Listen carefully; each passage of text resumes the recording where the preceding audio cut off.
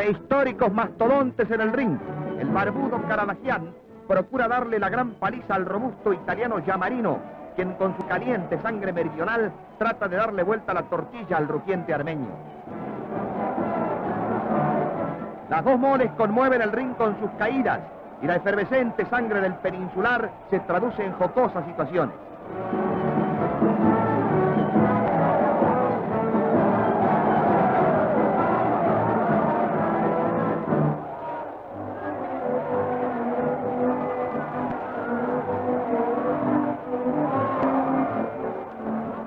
Al final gana Caradagian y todo el mundo contento.